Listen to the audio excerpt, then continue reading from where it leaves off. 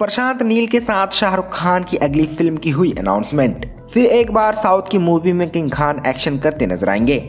लेकिन दोस्तों, उससे पहले आप सबको बता दूँ कि पठान और जवान के साथ बॉक्स ऑफ़िस पर धमाल मचाने के बाद, अब किंग खान अपनी अपकमिंग फ़िल्म डंकी को लेकर काफ़ी ज़्यादा चर्चा में है, क्योंकि उनकी डंकी फ़िल्म सलार से टकराने वाली है, जिसका डायरेक्टर खुद प्रशांत नील है, जो शाहरुख खान के साथ अगली प्रोजेक्ट कर सकते हैं।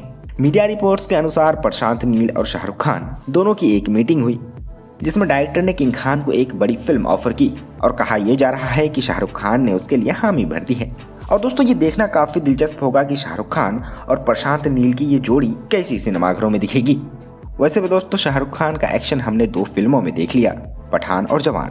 अगर किंग खान प्रशांत नील के साथ एक्शन फ़िल्म करते हैं तो दुनिया के सबसे बेहतरीन एक्टर बन जाएँगे। वो भी एक्शन किंग के नाम से जाने जाने लगेंगे। वैसे भी अब रोमांस के बादशाह किंग ऑफ़ एक्शन बन चुके हैं। शाहरुख खान की डंकी 21 दिसंबर को सिनेमाघरों में लग रही है, जो सलार से एक दिन पहले होगी। ओपनिंग डे कलेक्शन काफ़ी अच्छा कर सकती है। डेढ़ सौ करोड़ के आसपास तो पहुँच ही सकती है।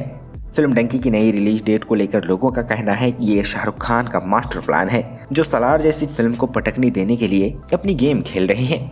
राजकुमार, हिरानी और शाहरुख खान सेट कर लेना कोई आम बात नहीं है। अगर प्रशांत नील और प्रभास को जीतना है तो उन्हें और दम लगाना होगा। फ़िलहाल तो राजकुमार, हिरानी और शाहरुख खान की डंकी का पल्ला ज़्यादा भारी लग रहा है। आपको क्या लगता है दोस्तों? खैर दोस्तों, क्या आप प्रशांत नील की फ़िल्म में शाहरुख खान को देखना पसंद करेंगे या नहीं दोस्तों?